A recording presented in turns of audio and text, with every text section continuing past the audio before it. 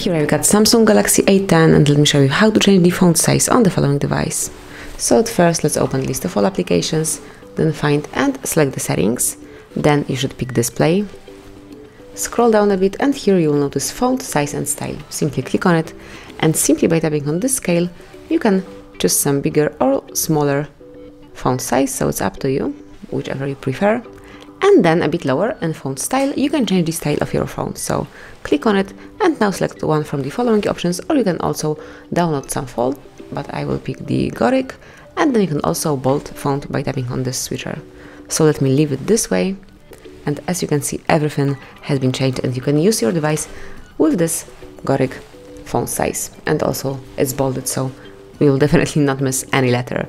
Then if you would like to go back to previous version or if you would like to go back to default size, simply go to display one more time, pick font size and style, change the size to default, font style also to default and then leave font unbolded. And that would be all. As you can see, we are back in the normal mode.